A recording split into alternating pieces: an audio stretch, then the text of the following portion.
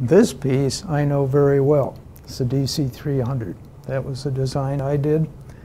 It began life uh, as a very different unit. In fact, the unit that came before it, that's the original, and it's marked D150.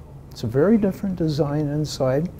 We took it to a hi-fi show in New York City, and when we came back from it, we collected the comments that we had, and the comment that came from Ed Straw, who was our rep at the time, he said, can you make something bigger?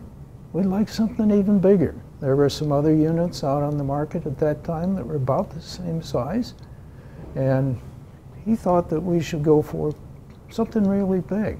So, there it is, DC300. We had not seen paralleled output transistors before, nor had we seen some of the circuitry that's in there that protects it. It made it a very reliable product, and that was really unique because solid state amplifiers in the early years were not solid. It's one of those things where you put a, a load on it that's a trying load, and before you know it, the thing is dead. And you didn't even get a decent fireworks show. Where on a vacuum tube unit, if you stressed it badly, the plates would light up bright red.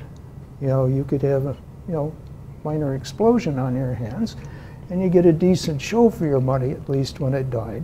But solid state, no, it dies without a whimper.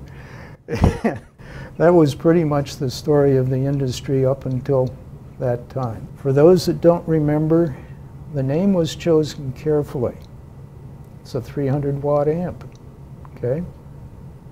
DC-3 was a popular airplane at the time. And it's DC coupled, i.e. passes DC.